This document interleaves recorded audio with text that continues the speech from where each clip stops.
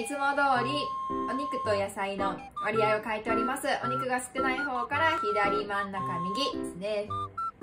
試していきたいお皿ですね。こちらの石川県にあります今川須藤店さんの純米酢です、え、皆さんもご一緒に美味しくいただきます。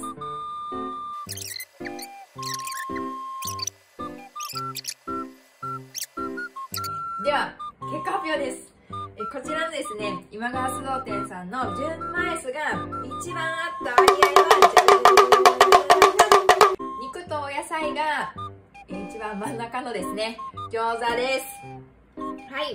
えその理由は前回のと比べるとその後味がねこう芳醇な香りが楽しめるんですけどその香りが真ん中のお肉の量ぐらいがちょうど合わさってよかったなと思います。お肉を多くしてしまうとお肉に負けてしまってせっかくの芳醇な香りっていうのを楽しめなかった気がするのでちょうど本当に真ん中の割合が良かったのでえぜひ皆さんもお試しいただけたらと思います。本日はありがとうございました。